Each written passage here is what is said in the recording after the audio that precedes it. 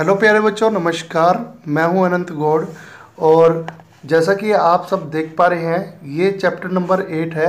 Eighth class का civics के अंदर। लेसन का नाम है कन्फ्रंटिंग मार्जिनलाइजेशन, हास्यकरण से निपटना। इस चैप्टर को हमने इससे पहले वीडियो में हाफ़ रीड कर लिया था। Protecting the rights of Dalits and Adivasi. अब दलितों के या आदिवासियों के अधिकारों की रक्षा किस तरह से की जा सकती है? तो अभी तक हमने वीडियो में ये देखा था कि जो दलित है या आदिवासी जो लोग हैं, उनके साथ में बुरा व्यवहार किया जाता था, उनके साथ में भेदभाव किया जाता था या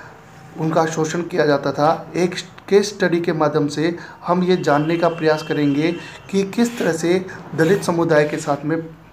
भेदभाव किया जाता था। तो ये कहानी है इंटरेस्टिंग कहानी है। इस, ये जो कहानी है,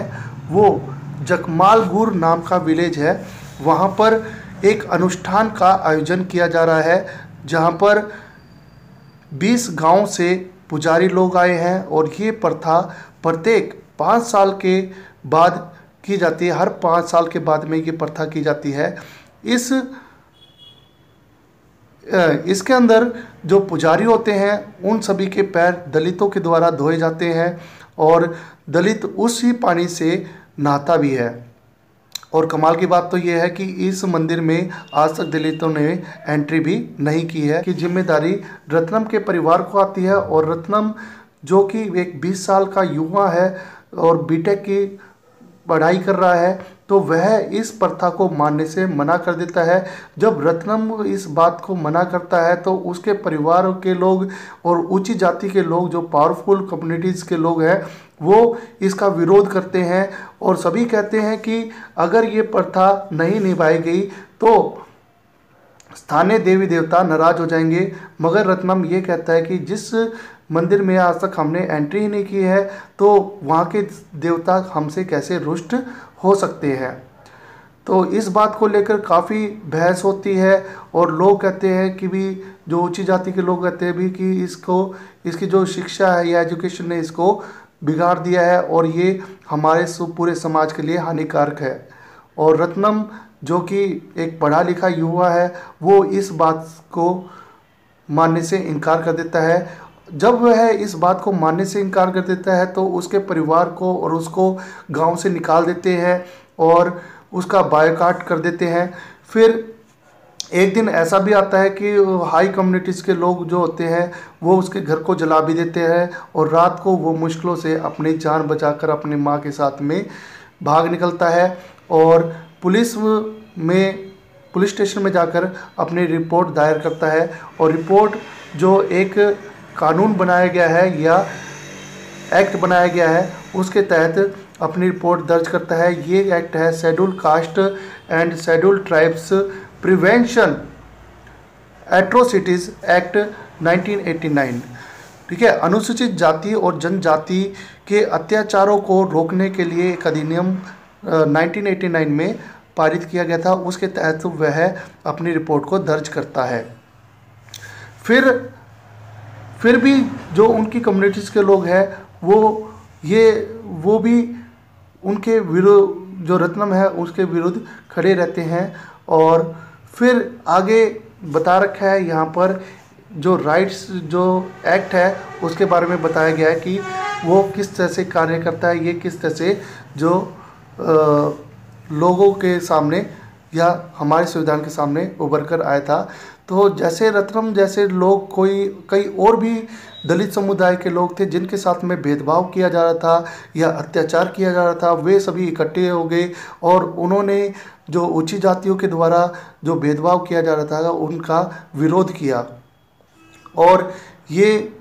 बात एक आंदोलन के रूप में सामने आई और लोगों ने खूब इस इस बात का समर्थन भी किया और जब ऊँची जातियों को भी पता चला कि भी उनके कहने से मना किया जा रहा है तो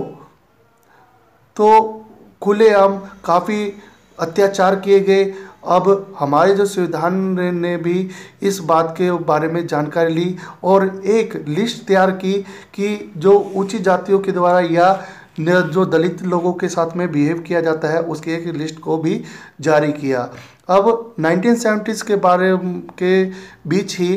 की बात करें तो उस समय आदिवासी लोग भी आ, अपने जो ज़मीन से निकाल देने के कारण बाहर रहना पड़ रहा था या अपने जंगलों से निकालने के कारण वे भी मार्जलाइज ग्रुप में आ गए थे तो उन्होंने भी अपनी मांग को आगे रखा था। तो इस इसी एक्ट के तहत उनको भी संरक्षण प्रदान किया गया था। इसके तहत कई ऐसे मामले सामने आए जो कि काफ़ी भयानक थे जिसको नैतिक रूप से एक निंदनीय कार्य के रूप में जाना गया था। तो सबसे पहले इसके अंदर जो सूची देखिए तो इसके अंदर एक ये बात बता रखी है भी कि किसी भी जो अनुसूचित जाति है जनजाति है, या शेड्यूल कास्ट है, या शेड्यूल ट्राइब्स है, उनके लोगों को ऐसा खाना खाने के लिए बाध्य नहीं किया जा सकता, जो कि खाने योग्य नहीं है। पुराने समय में ऐसा होता था कि भी जो आदिवासी लोग हैं, या जो दलित लोग हैं, उनको ऐसा खाना खाने के लिए विवश किया जाता था कि जो कि खाने योग्य बिल्कुल भी नहीं था। और इसके अलावा ये भी बताया गया कि कहीं कहीं पर ये ये भी प्रथा थी कि भी इन लोगों को, जो दलित लोग थे या आदिवासी लोग थे, उनको बिना कपड़े के घुमाया जाता था। तो ये भी एक क्राइम के रूप में देखा गया है और इसके साथ में कई कई बार ये भी देखा जाता था कि इन दलित लोगों के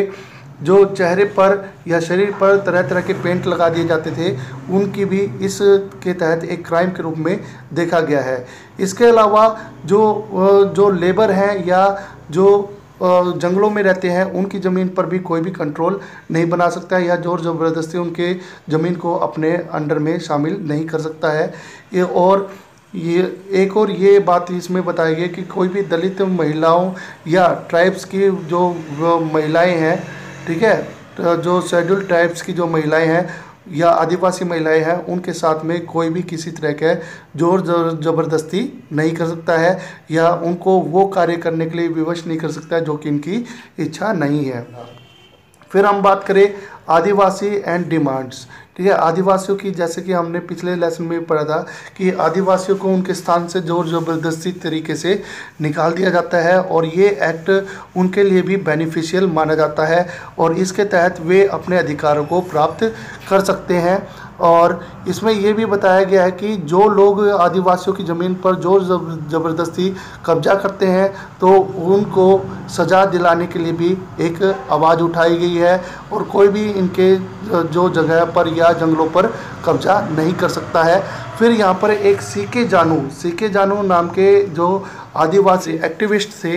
कार्यकर्ता थे, उन्होंने ये आरोप लगाया कि जो जितने भी गवर्नमेंट है या जितने भी जो स्टेट गवर्नमेंट के, कई स्टेट गवर्नमेंट में जो अलग से जो मिल्स होती हैं या जो मर्चेंट्स व्यापारी होते हैं टिम्बर के व्यापारी होते हैं, उन लकड़ियों के व्यापारियों को परमिशन दे देता है कि वो जंगल में जाके लकड़ी काट सकते हैं या जो कोई भी फैक्ट्री है, लगाई जाती है पेपर फैक्ट्रीज लगाई जाती है तो वो इन लोगों को जंगलों से निकाल देता है। अगर और इसके अलावा यहाँ पर और भी बात बताई गई है, जिसके तहत इन्होंने ये कहा कि है, कहा गया है कि अगर किसी व्यक्ति को इनके क्षेत्रों से निकाला गया है तो उनको मुआवजा भी दिया जाना चाहिए को एक अलग जगह रहने के लिए की भी सुविधा प्रदान करनी चाहिए। और इन्होंने ये कहा कि जब गवर्नमेंट के पास एक बड़े, जब एक गवर्नमेंट के पास एक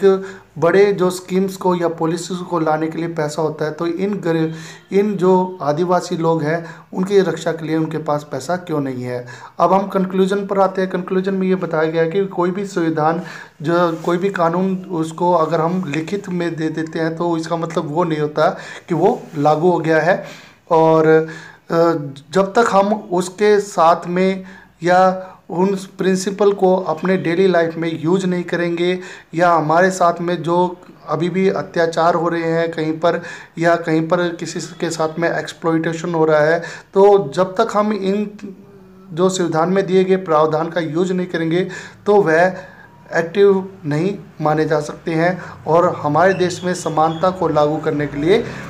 इन प्रावधान की सबसे ज़्यादा ज़रूरत है। तो मुझे पूरी उम्मीद है कि आपको ये चैप्टर यहाँ तक समझ में आ गया है और ये हमारा कंप्लीट भी हो गया है. Thank you for watching